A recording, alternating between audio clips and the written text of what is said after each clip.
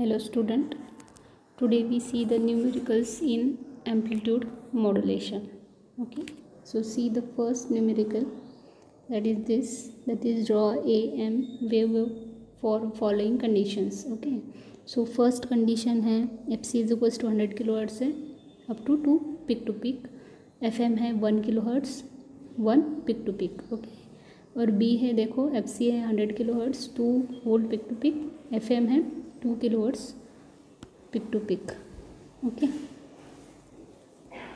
so इसमें आपको क्या करना है? दो वेव फॉर्म निकालनी है ए एम वेव की एम्पलीट्यूड मॉडुलेशन की। इसमें जो है, आपका जो वोल्टेज है ऑन वाई एक्सिस वैरी होगा one volt to two volt okay और जो फ्रिक्वेंसी है एफ़ सी दोनों इसमें सेम है, देखो हंड्रेड किलो हर्ट्स और एफ़ एम सिर्फ़ डिफरेंट है वन किलो हर्ट्स है और टू किलो हर्ट्स है। जो फ़र्स्ट है, देखो F M one kilo hertz तो आपका जो वेवफॉर्म का लूप आएगा, वो सिर्फ़ वन ही आएगा ओके और जो सेकंड है F M is to two hertz two kilo hertz इसमें जो लूप है, वो टू लूप्स आएँगे तो वो भी देख लेंगे अपन लोग आंसर देख लेंगे हम लोग। So see this is the solution for this problem in this we see the first, that is this, the voltage.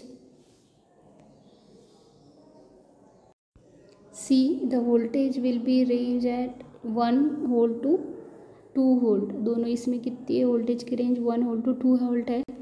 और यहाँ पे एफ़ एम जो है, यहाँ पे वन किलो हर्ट्स है, यहाँ पे टू किलो हर्ट्स है। वन किलो हर्ट्स है, इसलिए यहाँ पे कितना आएगा? एक ही लूप आएगा। और यहाँ पे टू किलो हर्ट्स है, इसलिए वन और ये टू टू लूप आएँगे ओके और जो एफ़ सी है, वो सेम है। सो कैरियर फ्रिक्वेंसी में कोई भी चेंज नहीं आएगा। और जो वाई एक्सिस है सॉरी एक्स एक्सिस है, उस पर क्या आएगा आपका? टाइम आएगा। ओके इस तरह आपको ये प्रॉब्लम सॉल्व करना है। अगर आपका वोल्टेज रेंज चेंज हो गया हो प्रॉब्लम में तो वो, ये आपको चेंज करना पड़ेगा। बाद में जो एफ़ की वैल्यू है, वो भी चेंज हो सकती है। सिर्फ़ एफ़ सी जो है आपका वो सेम रहेगा हर एक प्रॉब्लम में ओके मिस दोनों इसमें जो है, इसमें भी सेम रहेगा और इसमें भी सेम रहेगा F C okay so see the next problem the next problem is that four hundred watts carrier is modulated to depth of seventy five percent calculate the total power in the modulated wave. Calculate total power if the same carrier is modulated to fifty percent okay ये आपका problem है। इसमें भी आपको क्या करना है? ये भी प्रॉब्लम बहुत बार एग्ज़ाम में पूछा है देखो। सो so, इसमें जो है आपको F C sorry P C दिया है that is the carrier power okay कितना दिया है? फोर हंड्रेड वैट्स दिया है। बाद में यहाँ पे M one in percent means modulation index percent दिया है तो आपको कन्वर्ट करना है उसको सिंपल मॉडुलेशन इंडेक्स में। तो क्या होगा? सेवेंटी फाइव बाई हंड्रेड तो कितना आएगा? Zero point seven five, okay? उसी तरह एम टू भी आपको जो है सॉल्व करना पड़ेगा मॉडुलेशन इंडेक्स में। वो कितना आएगा? फिफ्टी बाय हंड्रेड तो कितना आएगा? Zero point five, okay? So अपना गिवन आपको पता चल गया है पीसी है एम वन है और एम टू है, ठीक है? इसके ऊपर से आपको क्या निकालना है? Total power so see the solution is that first आपको जो है टोटल पावर का फॉर्मूला भी पता है क्या है? P T is equals to P C in bracket one plus M square by two यहाँ पे आपको पी सी दिया है फोर हंड्रेड ओके और जो एम वन है मॉडुलेशन इंडेक्स फ़र्स्ट पे आपको पता है कितना है? Seventy five zero point seventy five तो वो भी पुट कर देंगे और इसको पूरा सॉल्व करके आंसर कितना आ रहा है? Five one two point five watts okay so next आपको क्या करना है? यहाँ पे हम लोग पी टी टोटल पावर निकालना था और एम कंसिडर कर लिया है M one zero point seventy five अभी नेक्स्ट इसमें क्या करेंगे? जो आपका एम टू है, वो देखेंगे, वो कितना है अपना zero point seventy zero point five है। तो इसमें वैल्यू पुट कर देंगे फॉर्मूला में।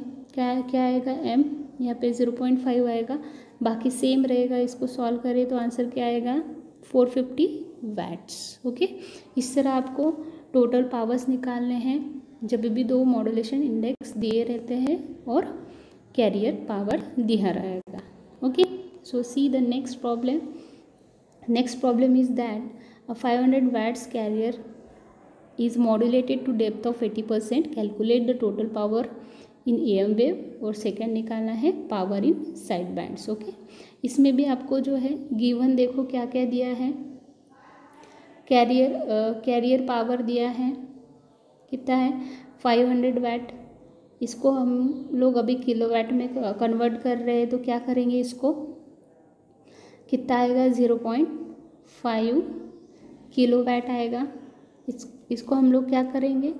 वन थाउज़ेंड से डिवाइड कर देंगे फाइव हंड्रेड को तो क्या आएगा? Five hundred divided by one thousand is equals to zero point five kilo okay modulation index भी दिया है आपको eighty percent modulation index percentage दिया है तो नॉर्मल कितना आएगा? Zero point eight because eighty by hundred okay कितना आएगा? That is the zero point eight okay so see आपको अभी क्या निकालना है? टोटल पावर निकालना है और power band in side bands निकालना है। So see the solution solution में देखो अभी क्या है? आपको सबसे पहले क्या करना है?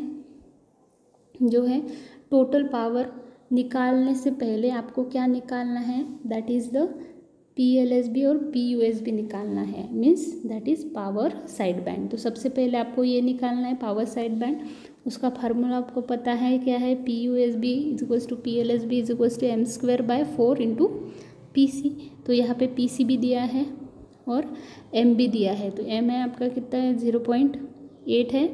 और जो पी सी जो निकाला है हमारा कितना है? Zero point five kilo watt ये हम पुट कर देंगे। तो क्या आएगा आपका? P U S B P L S B zero point zero eight kilo watt आएगा। अभी ये एक ही है, एक तो पी ओ एस बी होगा या फिर पी एल एस बी अगर आपको दोनों चाहिए तो क्या करेंगे, दो बार इसकी एडिशन करनी पड़ेंगी। ठीक है? तो कितना आएगा आपका? Zero point sixteen kilo watt आएगा। ठीक है? उसके बाद में आपका जो है total side band power means P L S B plus P O S B निकल गया है। Zero point sixteen kilo watt तो हमारा टोटल पावर का फॉर्मूला है देखो P C plus P L S B plus P O S B इसमें हम लोग पी ओ पी सी की भी वैल्यू पुट कर देंगे और P L S B P O S U S B की वैल्यू है ज़ीरो पॉइंट सिक्सटीन जो हम लोगों ने यहाँ से निकाली है। है ना?